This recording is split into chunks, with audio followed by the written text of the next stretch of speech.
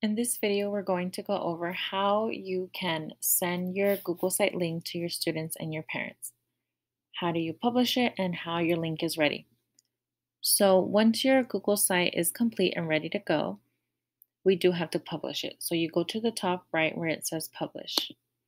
Once you click on that, it's going to ask you to give it a web address. So in this case, I'm going to do Valdez, one, two, four, that's taken.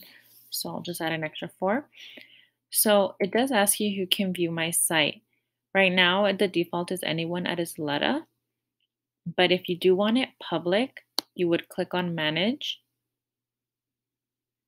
Where it says links vary, you're going to click on where it says change. And it says publish site Ysleta ISD. That's what it is at right now at default. You click on the down arrow and you can make it public.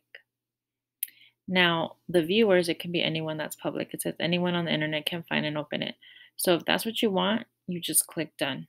If you want to keep it restricted just for students and parents and nobody outside can see it, say if you're po posting student work and things like that, I would definitely keep it on the Ysleta ISD.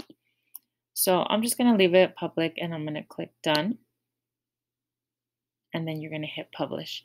It does take a while for it to get published, especially if you have a lot of content. In this case, I didn't really have much content, so it was pretty quick. So once you publish it, now you can click on the icon with the link. And then it gives you the link that you can easily copy. You can either select it, select copy V, command V, or just click on the purple link where it says copy link. And now that it's copied to your clipboard, all you have to do is just either add it to your Google Classroom or email it to a parent and it's ready to go.